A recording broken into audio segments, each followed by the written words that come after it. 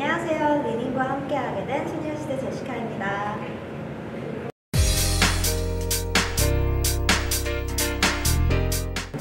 따자하오 워슈 이차스카 The sporty crossover collection is launching.